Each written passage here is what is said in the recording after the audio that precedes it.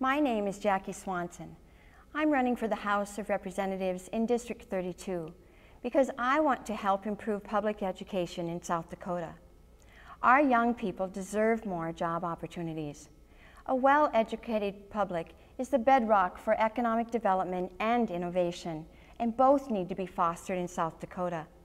I have taught for 32 years in the Rapid City Public Schools.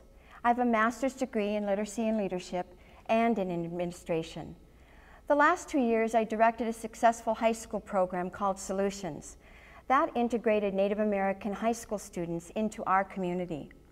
In 2008, I was honored to be named Rapid City's Teacher of the Year.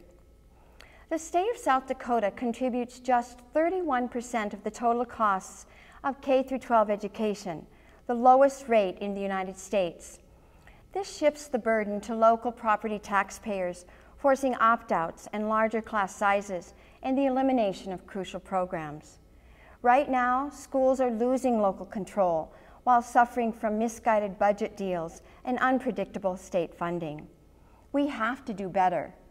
I am the only candidate running in House District 32 with real-world experience as an educator.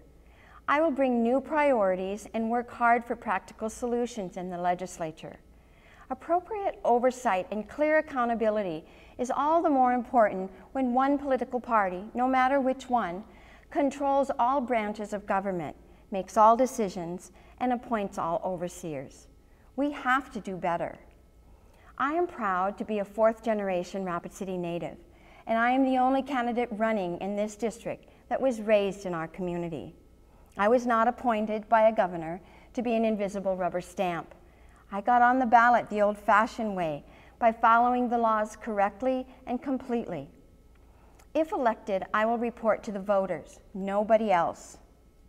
George McGovern once said that telling the truth is not a strategy in politics, it is the consequence of integrity.